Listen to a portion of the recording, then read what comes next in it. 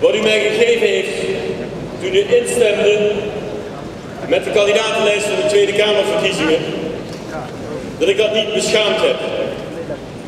Want ik hoopte dat ik in uw geest en in uw naam opgetreden ben namens de CDA-fractie in de onderhandelingen sinds de verkiezingen.